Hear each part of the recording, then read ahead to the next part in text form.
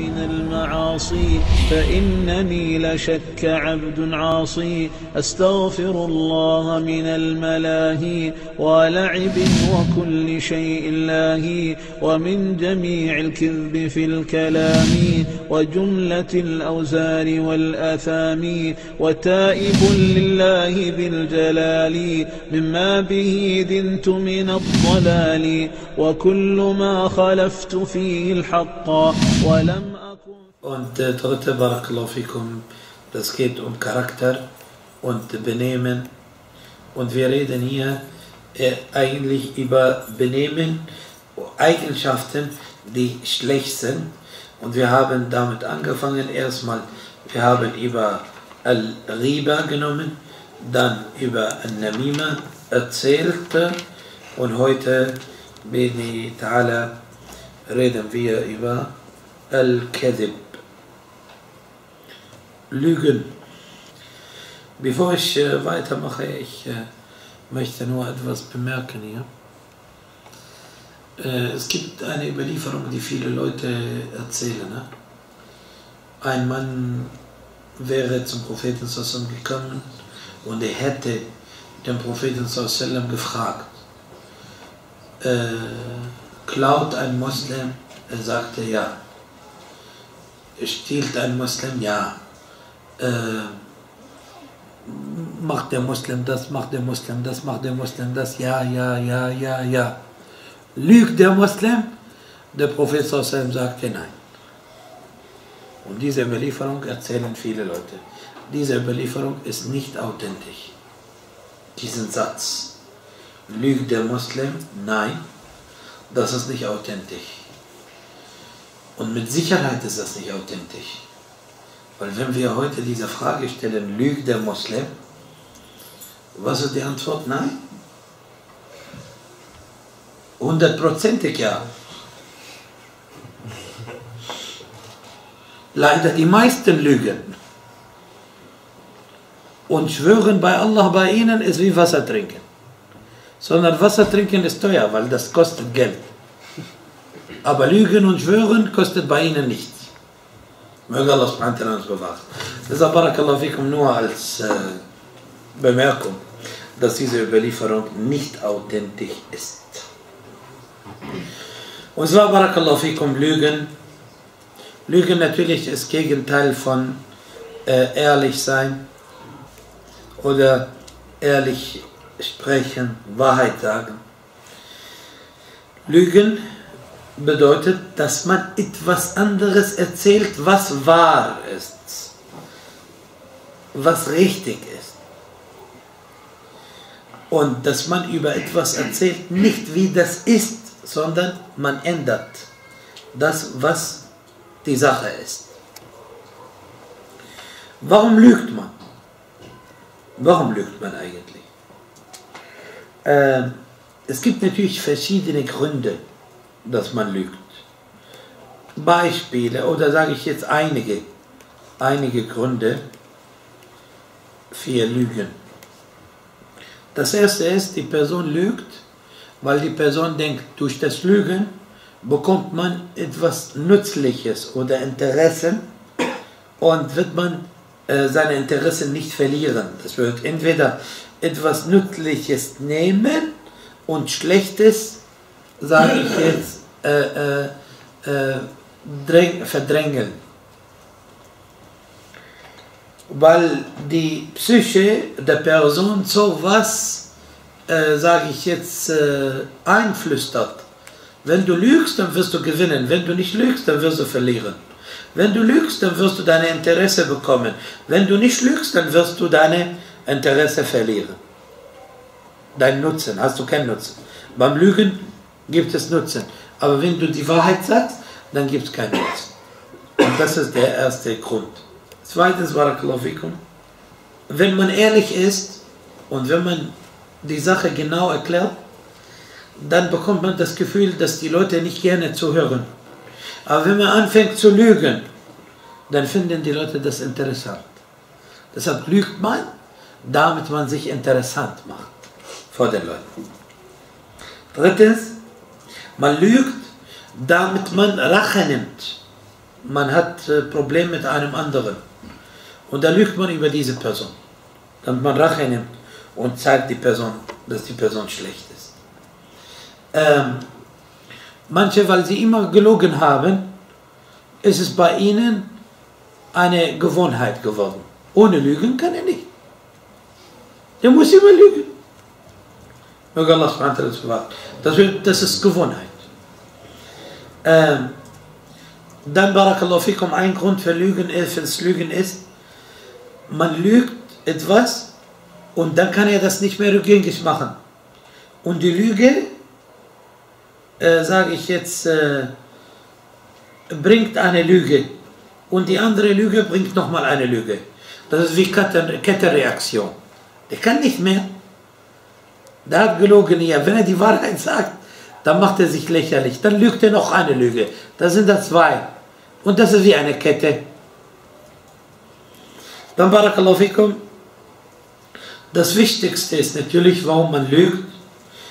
Das ist, weil man Allah nicht fürchtet und weil man die Religion falsch versteht und weil man äh, nicht an letzten Tag denkt, richtig. Das ist, das wird fehlende Taqwa, fehlende Gottesfurcht. Das führt zum Lügen. Barakallahu fikum auch äh, einige Lügen, damit sie sich zeigen, prahlen vor den Leuten. Und äh, damit man anders, sage ich jetzt, Interessen äh, äh, schützt.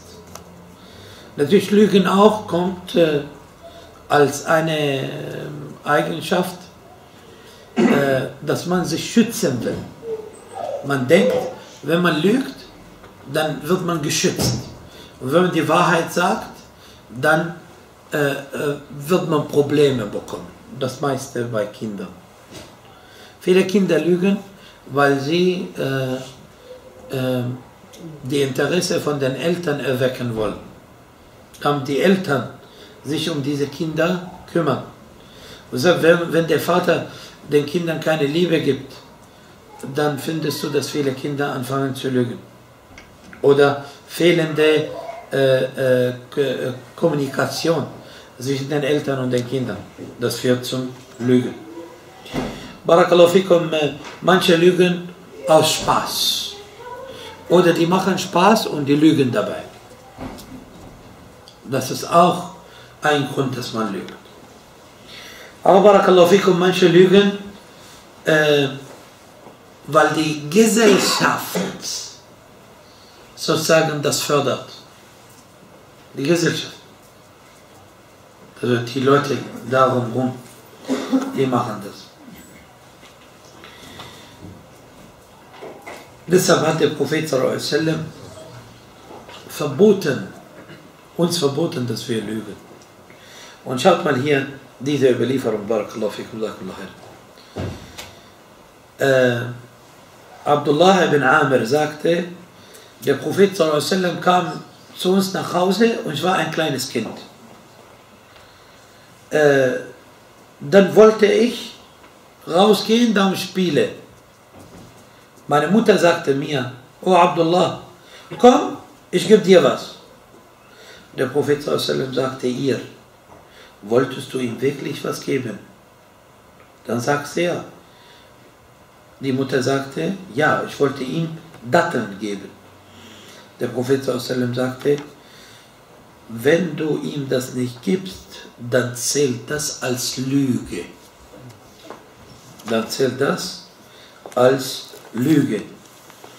Subhanallah, schaut mal, wie, wie, wie die meisten von uns heute ihre Kinder von Anfang an das Lügen beibringen. Sag, komm, komm, komm, ich gebe dir was. Dann kommt das Kind, ich hab dich. Ja, so hast du dein Kind beigebracht zu lügen. Oder wenn du das machst, dann bekommst du von mir Geschenk. Das Kind macht das. Ach ja, ich habe das nur gemacht, damit das tust. Dann hast du deinem Kind von Anfang an das Lügen beigebracht. Und dieses Thema ist sehr wichtig übrigens. Weil wenn man diese Gewohnheit hat zu lügen, dann ist es sehr schwer, das zu verlassen oder zu unterlassen. Lügen ist ein Zeichen von Heuchlerei. Der Prophet sagte, Zeichen von einem Heuchler sind drei. Ja? Wenn er spricht, dann lügt er. Wenn er verspricht, dann hält er nicht وإذا عاهد غدر, wenn er einen Vertrag macht, dann ist er untreu. Dann Barakallahu fikum auch, Lügen führt in die Hölle, والعياذ billah, und führt in die Sünde. Der Prophet sagte, in al-Kadhib yahdi ila al-Fudur, das wird Lügen führt zur Sünde und Sünde führt zur Hölle und die Person lügt und lügt, bis er bei Allah subhanahu wa ta'ala als Lügner geschrieben wird. Barakallahu der Prophet sagte auch,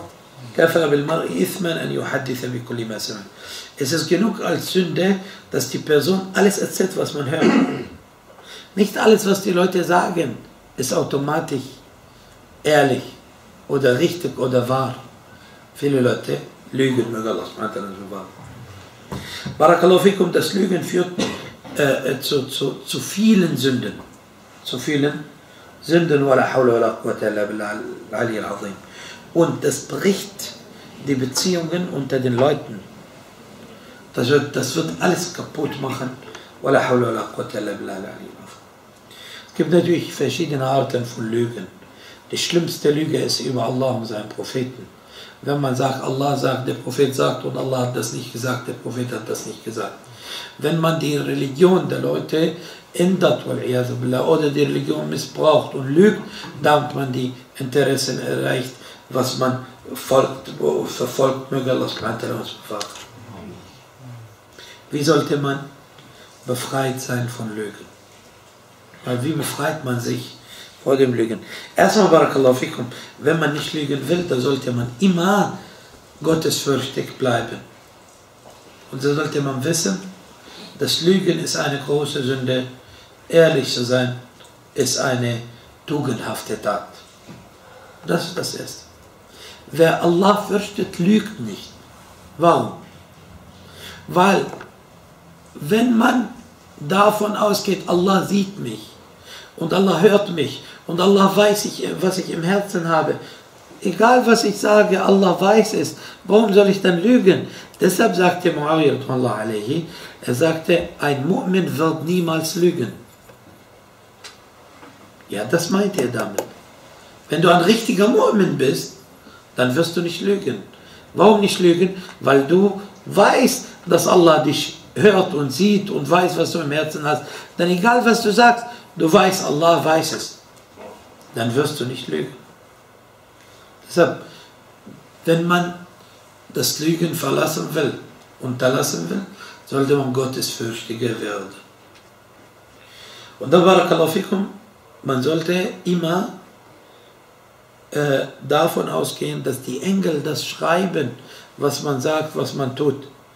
Und wenn du das änderst oder wenn du lügst, dann haben sie das geschrieben, dass du gelogen hast.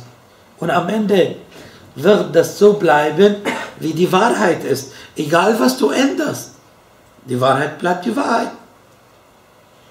Dann Barakallahu die Eltern und die Erzieher sollen selber Vorbild sein für die anderen, indem sie ehrlich sind, indem sie, was sie, wenn sie versprechen, dann halten sie, wenn sie was sagen, dann sind sie dabei ehrlich so weiter und so fort. Und das hat eine große Wirkung auf die Kinder und auf die anderen Leute.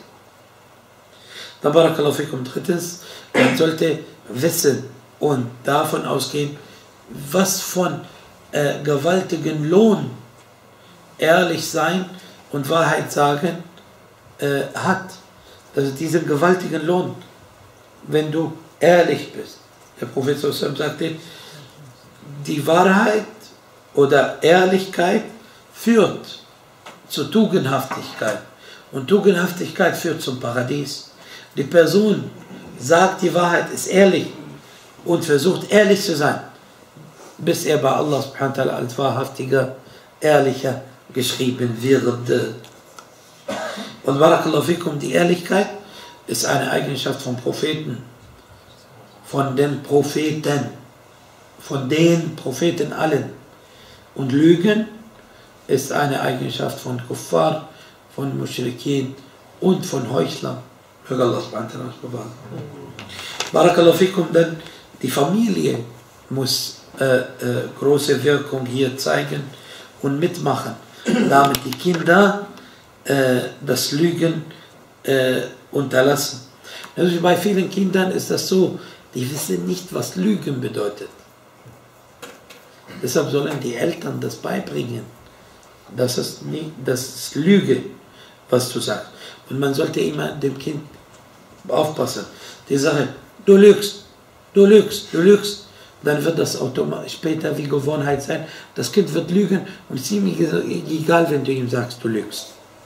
Man sollte erstmal aufklären, damit die Kinder sowas nicht tun. Und dann, Barakallahu fikum, sagen auch, äh, wichtig ist in diesem Zusammenhang, dass man daran arbeitet, dass man den Kindern beibringt, egal wo du bist, egal was du sagst, egal was du machst, Allah weiß es, er sieht dich. Meine, die Kinder fürchten vielleicht die Eltern. Ja? Äh, aber sollte man diese Gottesfurcht stärker machen als Elternfurcht. Und natürlich, das ist Barakallahu fikum Erziehungsaufgabe für die Eltern. Und jetzt kommen wir zu meinem ersten Wort mit der Überlieferung. Lügt ein Moslem oder ein Mu'min? Der Prophet hätte gesagt, nein. Aber die Überlieferung ist nicht authentisch.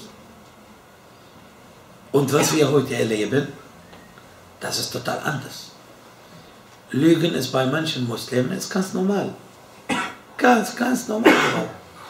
Der lügt wie gedruckt. Und noch dazu, der schwört bei Allah subhanahu Vor ein paar Tagen war ich mit äh, äh, einigen äh, Leuten zusammen und dann habe ich jemanden was gefragt und dann wollte er schwören. Ein anderer sagte mir, sagte, Subhanallah, fürchte Allah. Warum willst du unbedingt, dass dieser Mann eine große Sünde macht? Und dass er bei Allah schwört?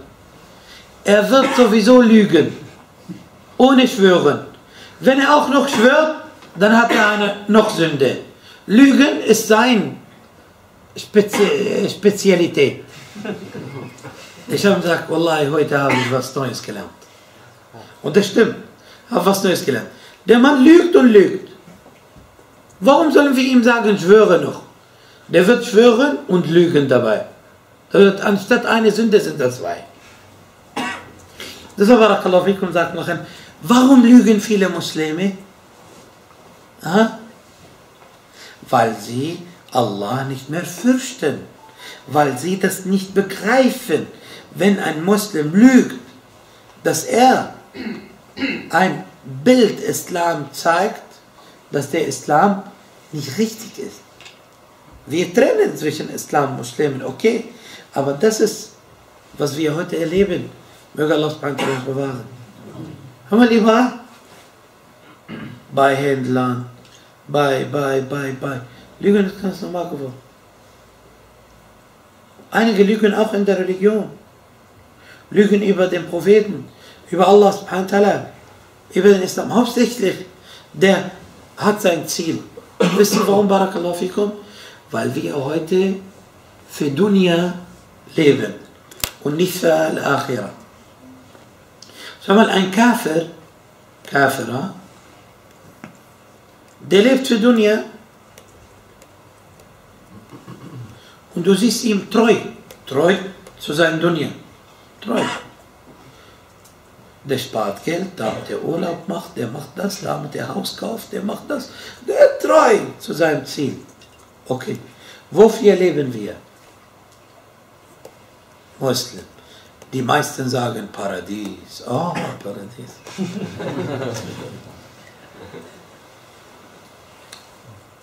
und Dunya. Sind wir treu zu Dunya und treu zu Paradies? Für beide nicht. La hawla la quwwata illa billah. Nicht alle, aber leider. Das ist unsere Wahrheit, das ist unsere gegenwärtige Situation. Schau mal die Kinder auf der Straße, schau mal die Shisha-Bars, schau mal Frauen mit Hijab, wie sie Shisha rauchen vor allen Leuten. Schau mal, wie die Lage geworden ist. Der Vater lügt über seinen Sohn. Der Sohn beklaut seinen Vater. Die Mutter äh, lügt über, über, über ihren äh, Mann und der Mann über, über seine Frau. Warum? Warum das Ganze? Gibt es dafür einen Grund? Ja. Der Grund ist, wir haben eine andere Maß oder wir haben einen anderen Maßstab als ein Käfer. Wenn ein Käfer weiter in Kuffer tiefer geht, dann wird er Dunya bekommen, diesseitiges Leben bekommen, damit er am Ende in der Hölle ewig bleibt. Wir Muslime, wenn wir weg von Religion kommen, dann werden wir vieles tun und am Ende verlieren wir. Deshalb, subhanallah, wer für Paradies lebt, dann sollte ehrlich sein, sollte Allah fürchten, sollte Heuchlerei verlassen und sollte auf dem geraden Weg bleiben. Aber komischerweise, auch das Leben für Paradies ist mit Dunya verbunden. Ich meine, 10% nur Wenn wir das schaffen, dann hätten wir total ein anderes Leben als Muslime gehabt, als dieses Leben, was wir haben. Und Lügen ist ein echtes Problem geworden. Natürlich, Barakallahu fikum, wir reden jetzt nicht über Taqiyya. Ha? Wir wollen nicht sagen, die Schia, okay? Damit man uns nicht kritisiert. Viele von Schia nicht alle, okay? Die erlauben das Lügen mit der Behauptung, mit der Behauptung der Taqiyya. Aber wir sind nicht solche Leute. Du weißt doch, Allah sieht dich, Allah weiß. Und komischerweise, du sagst eine Person, Allah sieht dich, Allah weiß, was du tust. Du darfst das nicht tun, aber sie tut das weiter. Als ob du gar nicht gesagt hast wenn das Herz, Barakallahu fikum, umgehüllt wird von Sünden, dann diese Wörter oder was du sagst, geht nicht durch. Das ist schon umgehüllt. Tausendmal sagst du das. Und einige sagen, ja, Allah, du hast recht. Dann machst du dein Gesicht so, der lügt fünfmal. Machst du so, der sagt, ja, ich habe nicht gesagt, ja. Was habe ich gesagt? ولا حول ولا قوة إلا بالله العلي العظيم. So, barakallahu fikum. Äh, jeder Vater, jede Mutter, jede Person, die in der Position der Führung ist, sollte dieses Thema ansprechen und diese Katastrophe behandeln. Weil wenn das so weitergeht, dann wird das schlimmer und schlimmer werden. Ein Muslim darf nicht lügen, darf nicht betrügen. Ein Muslim sollte ehrlich sein, sollte gerade sein, sollte auf dem richtigen Weg bleiben. Aber jeder seins und am letzten Tag werden wir vor Allah subhanahu wa ta'ala stehen. Barakallahu fikum, Sakallahu khairum. Möge Allah subhanahu wa ta'ala von mir und von euch annehmen. سبحانك اللهم وبحمدك أشهد أن لا إله إلا أنت أستغفرك وأتوب إليك. Sagen wir, eine Person fragt einen etwas und man möchte diese Sache nicht erzählen und erzählt etwas Mehrdeutiges, sodass er was anderes denkt. Wenn man das ständig so macht, geht das als Lüge? Nicht als Lüge, aber dies, was du meinst, das heißt Theorie. Theorie bedeutet, ein Wort zu sagen, was zwei äh, zweideutig sein könnte. Äh, der Prophet sallam war einmal mit Abu Bakr auf der Reise. Oder der, auf dem Weg der Hijra. Und äh, ein junger Mann hat sie gefragt, woher, wo, woher ihr kommt. Der Prophet sagte, sag uns erstmal, woher du kommst. Dann hat er gesagt, der sagt, jetzt sagt sie mir, der Prophet sagte, Anna min Ma' ich bin vom Wasser. Der sagt, Wasser, wo ist dieses Gebiet? Ja, wir sind vom Wasser, weil Allah subhanahu sagt, wir haben aus dem Wasser alles lebendig erschaffen. Deshalb, das ist Mehrdeutigkeit, ja. Aber man darf nicht übertreiben. Die Mehrdeutigkeit benutzt du, wenn du das nötig hast, wenn du das brauchst. Aber nicht in allen Themen. Jetzt sage ich dir zum Beispiel, woher kommst du? Sag mir, naja, aus Wasser. Warum? Verstehst du? Aber deshalb äh, viel davon, von At-Tawriya, ist falsch. Aber wenn du das nötig hast, anstatt dass man lügt, dann sagt man etwas, was zweideutig ist. Hm? Und es auch mit Dunja zu tun hat? Auch. Okay. Ja, dann mal ab. Na. Hier und sage ich die Folge, ähm, das hatte ich mal mit einem Freund ein Gespräch, ich habe gesagt, dass der Prophet Mohammed das beste Vorbild ist und dass man nicht so sein kann wie er. Und da hat er zu mir gesagt, okay, vom Prophetentum kann man nicht so sein wie er, aber als Mensch könnte man schaffen, so zu sein wie er, also von seinen Taten, körperlichen Taten. Äh, wie, der hat mit einem Bruder diskutiert und der hat ihm gesagt, äh, äh, niemand kann wie der Prophet werden oder sein. Der Mann sagte, okay, vom Prophetentum nicht, aber von Menschlichkeit ja. Äh, das stimmt nicht. Von Menschlichkeit auch wirst du das niemals erreichen, was der Prophet gehabt hat. Ich weißt, was man sagen weil ich hatte auch keine ja, sowieso, nee, nee, sowieso, äh, dass du das erreichst.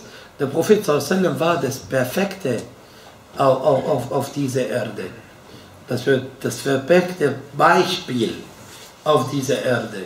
Und dass du in der Religion wie der Prophet sein wirst, wirst du niemals schaffen, weil er spezifische Eigenschaften gehabt hat, die die anderen nicht haben. Ja?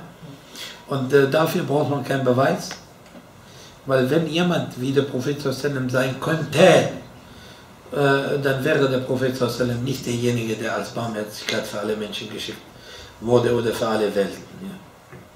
Aber in bestimmten Themen, vielleicht versucht man, äh, äh, wie der Prophet zu handeln, aber keiner wird das schaffen, so wie er in, in Gesamt, in, im gesamten Bild wirst du niemals wie der Prophet sein. Du wirst auch nicht wie Abu Hanifa werden oder Imam Ahmed. Dann wie ist das? Ich habe ihm das gleiche gesagt, aber er sagt, ich habe gesagt, das schafft man nicht, aber, aber theoretisch könnte das dann sein. Okay. Also er ist so ein Ding Aber wenn, wenn man mit Wörtern spielt, ja, dann braucht man solche Diskussionen nicht so machen. Na, next, bitte. Sheikh, ähm, über das Thema Lügen habe ich eine Frage. Also bei Kleinkindern ist es ja so, die äh, verstehen ja noch nicht so richtig, was Lügen heißt oder was das bedeutet. Mhm. Aber in der Gesellschaft, selbst in der Schule oder Kindergarten, sehen sie das von anderen Kindern oder äh, in der Gesellschaft von anderen Menschen und nahmen, äh, ahmen diese nach. Wie geht man denn am besten um? Weil du hattest ja äh, gesagt, wenn man dem Kind dann halt sagt, du lügst, du lügst nicht, du lügst, das wird eine negative Wirkung auf das äh, Kind aushaben. Wie geht man denn am besten um? Der Bruder sagt, in Kindergärten oder in Schulen werden einige Leute äh, das Lügen beigebracht von anderen Kindern oder von anderen Erwachsenen. Wie sollte man damit umgehen? Du bist verantwortlich für deine Kinder und du sollst deinen Kindern erklären, dass dies, was, was die Lüge bedeutet. Sagst ihnen zum Beispiel, dass es weiß. Wenn ich dich frage, welche Farbe ist das, und du sagst mir nicht weiß, dann hast du hier gelogen. Das ist Lüge. Lüge ist zum Beispiel, wenn du dort bist, hinter der Tür, sage, wo, du, wo bist du? Und sage, ich bin nicht hinter der Tür. Du musst langsam beibringen, was Lügen bedeutet. Und du sollst natürlich das verbinden als Muslim, dass Allah uns sieht und Allah weiß, was wir sagen. Und dass die anderen, die sowas machen, dass sie an Allah nicht glauben und so weiter und so fort. Und das ist ein Prozess. Das kommt nicht von heute auf morgen. Aber mit der Aufklärung, was das bedeutet, dass man die Tatsachen anders erklärt oder zum Beispiel die Wahrheit oder nicht ehrlich wird, das ist wichtig zu erklären langsam, dass das Kind begreift dann, dass man das sagt, was man gesehen hat. Und das ist Prozess. Weil du kannst nicht einem Kind jetzt drei Jahre alt erklären, was Lügen ist. Also, Wallahu ta'ala. Na. Na, bitte. Ähm, ein Bruder fragt, wenn man bei Allahs Namen geschworen hat, in einer Dua und dann nach einer Überlegung später einer Dua es widerrufen hat, aus Furcht vor Allah, dass man das nicht einhalten kann. Ist das eine Sünde? Was ist ein Dua? Hast, hast du die Frage gestellt? Nein, ich habe die Frage verstanden, aber ich denke, das ist falsch formuliert. Der Bruder meint, der hat was geschworen, dass er bestimmtes nicht sagt oder nicht macht eventuell und dann will man das äh, rückgängig machen. Das hängt davon ab, was man geschworen hat und was ist das Thema genau, was man geschworen hat. Zum Beispiel jemand schwört, bei Allah, ich werde äh, nicht mehr atmen. Oder nicht mehr essen. Ja, ich mache das rückgängig. Dies nennen die Leute äh, äh, unnötige Gerede. Das wird, das, das ist gar nicht. Aber wenn man sagt, bei Allah, ich rede mit dir nicht. Und dann redet man mit dir. Dann hängt davon ab, hat das gemeint, als man das gesagt hat, dann muss man zehn Armen speisen, weil das ein Schwur ist. Hat man das nicht gemeint, dann ist das nur unnötige Gerede. Wallahu ta'ala alam. Ja. Wie sollte man mit Personen umgehen, die ständig lügen? Wie sollte man mit, mit Personen umgehen, die ständig lügen? Man sollte vorsichtig sein mit ihnen. Man sollte versuchen, äh, mit ihnen nicht viel zu spaßen. Und man sollte ernsthaft mit ihnen immer reden. Und äh, langsam erinnern, dass Allah sieht, dass Allah weiß. Und nicht direkt angreifen. Bei manchen eigentlich auch direkt ist in Ordnung, aber äh, Wallahi ist sehr schwer, mit solchen Leuten umzugehen. Weil du nicht mehr weißt, wie die Sache ist. Ich stelle dir eine Frage. Es gibt, äh, ich weiß, vielleicht auch einige von euch kennen das, aber auf jeden Fall, ich weiß nicht, ob ihr das kennt. Es gibt ein Dorf, die Bewohner des Dorfes lügen immer. Und es gibt ein Dorf, die Bewohner des Dorfes sagen immer die Wahrheit, sind ehrlich. Und eine Person kommt und er findet eine, eine andere Person. Und diese Person will nach dem Weg fragen.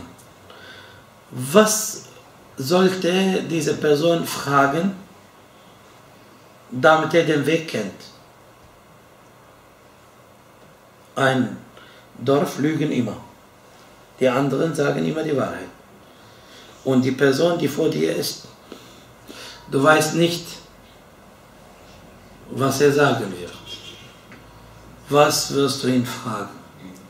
Ja. Von welchem ist? Der sagt dir von den Leuten, die die, äh, die Wahrheit sagen, aber der ist Lügner. Wie sollst du wissen? Na. Was würde der andere sagen, wenn ich ihn nach dem Weg frage? Richtig.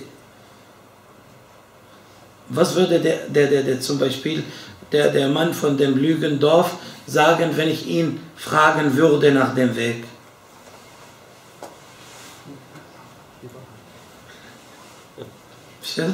Das ist die Sache. Es gibt manche, Barakallahu fikum, bei ihnen ist Lügen normal. Normal, normal, ganz normal. Man sagt, manche lügen und die werden nicht rot. Politiker zum Beispiel, ja, allgemein. Nicht alle, aber meiste. Oder Pressevertreter zum Beispiel. Die lügt einfach, die, kann lügen. Job. Profi. Das möge Allah uns bewahren. Das ist sehr schwer, mit diesen Leuten umzugehen. Ja. Ja, zum Beispiel bei mir auf der Arbeit, es gibt eine Person, der ist halt dieser Fall, der lügt ohne rot zu werden. Und dann gibt es wiederum andere, die sind sehr naiv und die fallen jedes Mal darauf rein. Kann ich jetzt zu dieser Person hingehen und sagen, hört mal zu, diese Person lügt und seid vorsichtig vor ihm? Darf man vor einem Lügner warnen? Ja, du darfst. Meine, wenn, wenn eine Person bekannt ist, dass diese Person lügt, dann sollte man, und das ist kein Riba, weil, weil das Barakallahu fikum eine Ausnahme ist, dass man die Leute warnt vor einer Person, die immer lügt und vielleicht betrügt und so weiter und so fort. Das, das, das Schlimmste ist, dass einige Leute bei Allah schwören. Wallah, Wallah, Die anderen hören, die sagt, Wallah, schau mal, ich schwöre bei Allah. Egal was du sagst, die sagt, ich schwöre bei Allah. Hätten wir gewusst, wie das groß ist, bei Allah zu schwören, hätten wir das Wort Allah auf Zunge nicht immer benutzt, so wie die Muslime das, einige Muslime oder viele, Entschuldigung, Muslime das machen. Mittlerweile, die Nicht-Muslime wissen, wenn man sagt Wallah, der sagt, ach, der lügt. Wallah, gestern sagte mir einer, der sagt bei euch, es gibt Leute, wenn er sagt Wallah, ich weiß genau, dass er anfängt zu lügen. Oder wie Inshallah. Der sagt Inshallah, Inshallah. Kannst du vergessen. Deshalb, wir haben auch das Wort Allah subhanahu wa ta'ala missbraucht. Wir, wir haben das Wort Islam missbraucht. Wir haben so viel missbraucht. Deshalb möge Allah subhanahu wa ta'ala uns bewahren. Möge Allah subhanahu wa ta'ala uns auf dem richtigen Weg festigen. Wir wollen, dass die Muslime zurück zur Religion finden. Und wir müssen auch selber auf dem richtigen Weg bleiben. Aber das ist schwierig in so einer Situation. In der Moschee lügen die, auf Arbeit lügen die, auf der Straße lügen sie, in der Familie lügen sie. Hochstapler, ich meine in allen Bereichen. Sag mal ja, bei Kuffar auch. Ja, ein Kafir. Ich glaube nicht an Allah. Er glaubt nicht, dass Allah ihn sieht, dass er bestraft wird oder in die Hölle kommt oder ins Paradies. Der glaubt nicht daran. Deshalb, wenn er auch lügt, ist normal. Was lässt ihn, sage ich jetzt, äh, äh, davon abhalten, dass er lügt? Aber wir Muslime, wir glauben doch, Allah sieht uns und weiß, was wir tun. Die Engel schreiben, das ist alles geschrieben. Wir werden vor Allah stehen und trotzdem lügen sie. Na. Ja, ja. Aus, wenn man in eine Situation gekommen ist und man unbedacht eine Lüge von sich gegeben hat? Muss man dann irgendwas wieder gut machen oder wie sieht es aus? Wenn man unbedacht gelogen hat, dann muss man Allah um Verzeihung, Vergebung bitten und da sollte man das richtig stellen, was man gesagt hat. Ich meine, natürlich, passt auch bitte, es kann sein, dass manchmal jetzt ein Wort oder zwei Wörter vergessen hat.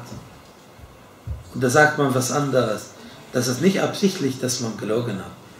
Aber wir reden jetzt über Lügen, dass man absichtlich macht. Dass man weiß, zum Beispiel, du weißt, das ist so und du erzählst was anderes. Absichtlich.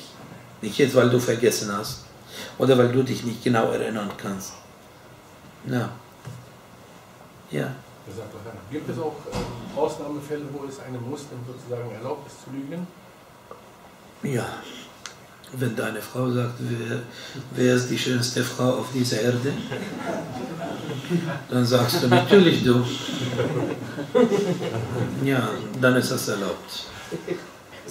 Ein Mann hat zwei Frauen und die Frau, die erste Frau sagt, welche Frau liebst du am meisten? Er sagt die andere. Dann schläft er nicht. Ja, das ist die Sache. Deshalb hier ist keine Lüge normalerweise. Oder zum Beispiel zwei Brüder haben ein Problem und du willst schlichten. Du sagst ihm, der liebt dich und ich habe mit ihm gesprochen. Der hat gesagt, ich habe Respekt vor ihm. Obwohl du mit ihm gesprochen hast, der sagt, das ist ein Schwein, der ist ein. ja, aber du, du machst das.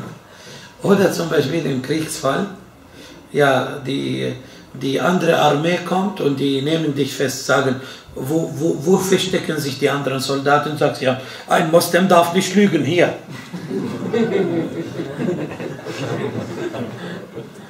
Ja, in diesen drei Fällen kein Problem. Oder sagt man, jemand kommt jetzt mit einem Messer und sagt, wo ist äh, äh, diese Person so und so, der ist neben dir. Du sagst ihm, der ist neben mir, hier. Natürlich sagst du, ich weiß nicht. Deshalb, das ist, das ist normalerweise keine Lüge. Aber in solchen Situationen kein Problem. Allah Ta'ala ala. Na. Na, Omar. Gibt diese Ausnahmesituation auch, wenn man mit Personen zu tun hat, die unzurechnungsfähig sind? Ja, ja. Ja, ja, das geht. Ich meine, eine Person, der ist verrückt oder unzurechnungsfähig und der sagt dir jetzt, ich will äh, was machen, du sagst ihm, ja, wir werden das zusammen machen und sowas, kein Problem. Ja, bitte. Äh, wie meintest du das genau, wo du gesagt hast, die Muslime, sie sind weder treu zu Dunya noch zu Paradies? Was bedeutet was äh, äh, meine Aussage? Die Muslime sind heutzutage nicht alle, die meisten Muslime sind weder treu zu äh, Paradies noch zu Dunya. Ja, das bedeutet, sie wirken nicht für die Dunya richtig. Ja, sie halten sich nicht an die Regeln der Dunya und sie halten sich nicht an die Regeln der Religion. Die sind weder auf diese Seite noch auf diese Seite. Die sind wie, wie in, in der Schwebe. Das meine ich handeln sie dann für ihr Nafs letztendlich? Oder? Nee, natürlich für ihr Nafs, aber auch das nicht. Ich meine, ich schau mal jetzt viele. Wenn er Dunya-mäßig macht, zum Beispiel ein Händler, wir reden von Händler, der, der, der, der, vielleicht der betet Geld an. Schau mal, ein Händler, der Kafir ist. Ordnung, macht er die Sache und so weiter. Bei, bei anderen, der macht das nicht in Ordnung, der macht alles durcheinander, aber der will nur Geld haben. Und Religion vernachlässigt er, weil er denkt, Religion ist ein Hindernis, dass er in Dunya was schafft. Umgekehrt ist das. Als wir die Religion praktiziert haben, Muslime, dann waren wir Führer der Nationen.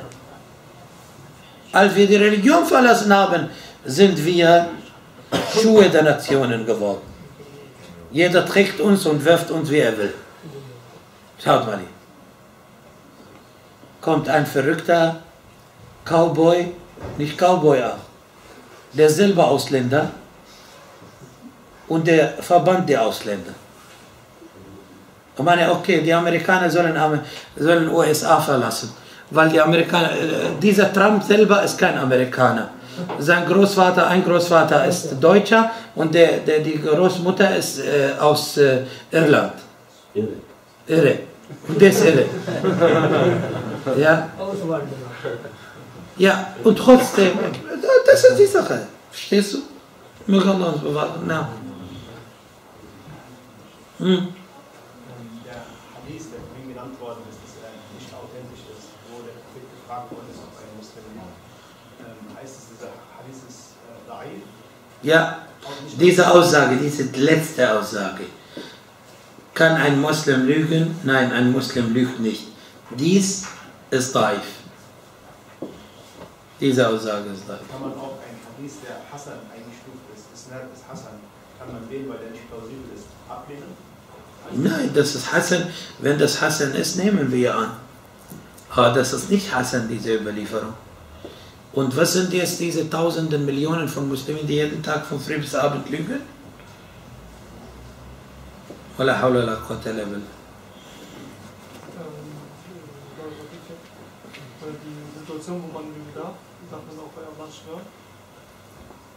Ja, aber nicht so.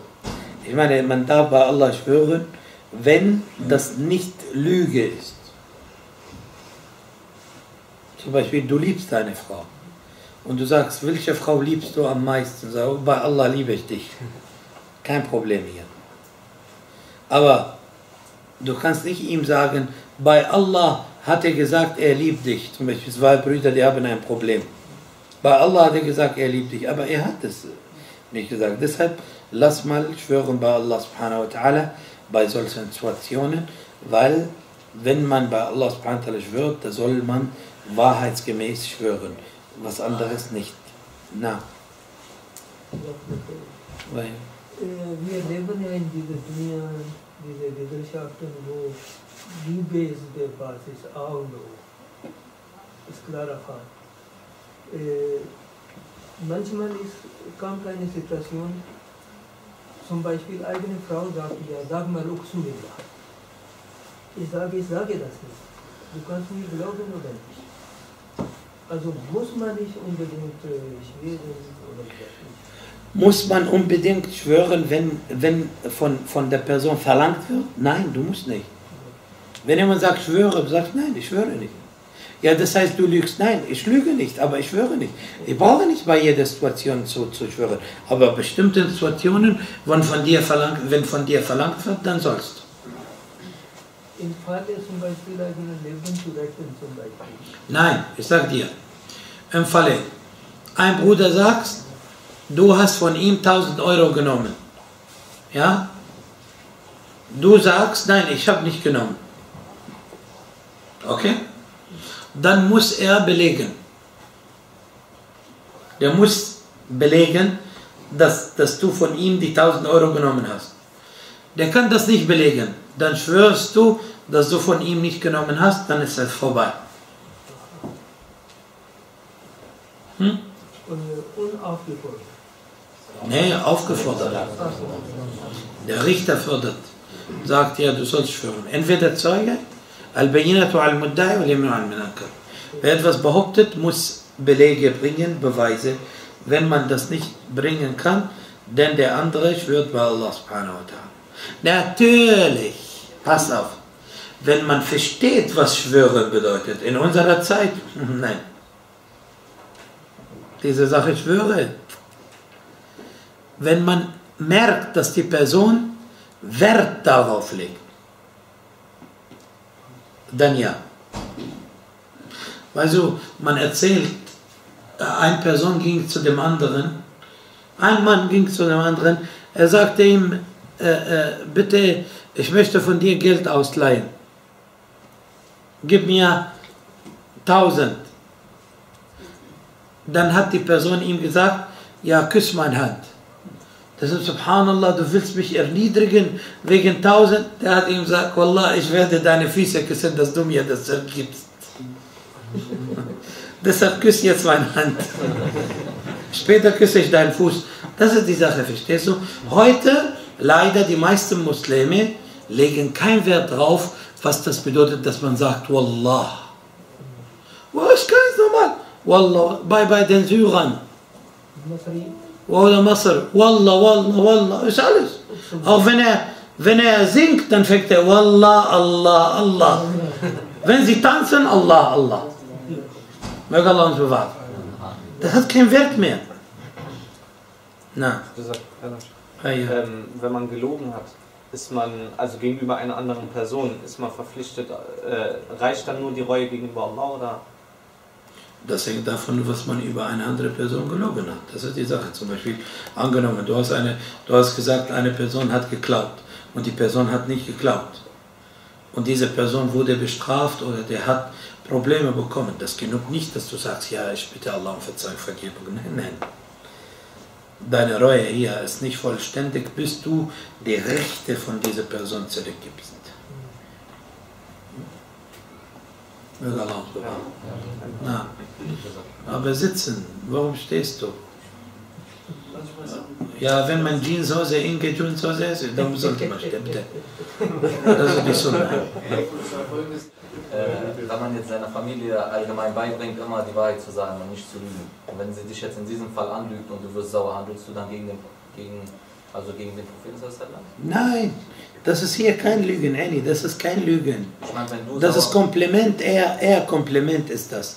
Aber man nennt das in der arabischen Sprache so aber eigentlich das ist keine Lüge. In der arabischen Sprache benutzt du manchmal das Wort um das Gegenteil. Ich sage dir, oh, du bist gottesfürchtig. Ich meine, du fürchtest Allah nicht. Da al-Makarima sagt man, du bist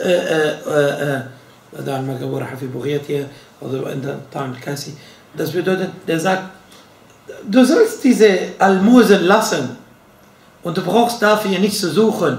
Du bist doch der äh, äh, Großzügige, derjenige, der alles gibt. Die Leute, wenn du ihm sagst, du bist der Großzügige, derjenige, der immer gibt, da freut man sich, oder? Das ist eine Beleidigung in diesem hier Gedicht. Es gab eine Frau, die hat Bittgebet für Al-Hajjaj ibn Yusuf Thaqafi gemacht. Der hat gesagt, möge Allah deinen Hals länger machen. Hals länger machen. Bei Arabern bedeutet, du bekommst Macht. normalerweise. Und deine Position wird besser. Der hat gesagt, tötet sie. Die haben gesagt, die hat dich doch gelobt. Der hat gesagt, ihr seid blöd. Die wollte, dass jemand meinen Hals. Verstehst du? Der sagt, möge Allah dein Leben lang machen. Der gesagt, die macht Bittgebet gegen mich. Mein Leben lang machen, damit ich mehr Sünden bekomme und in die Hölle lande. Verstehst du? Das wird, wie du das verstehst. Deshalb, das ist keine Lüge. Jetzt, wenn, wenn, wenn, die, wenn, wenn, wenn die Armee, zwei Armeen, ne, gegeneinander kämpfen und die nehmen einen, Geil, die nehmen äh, einen Soldat äh, gefangen und die fragen ihn, wo ist der Führer eurer Armee? Wo steckt er? Der zeigt ihnen, ja, man darf nicht lügen, der ist da, tötet ihn. Das ist logisch, das braucht, das braucht nicht viel zu diskutieren normalerweise. Barakallahu fikum, jazakum khairan. Möge Allah subhanahu wa ta'ala von mir und von euch annehmen. Subhanakallah, hamdika, ashhadu an la ilaha illa anta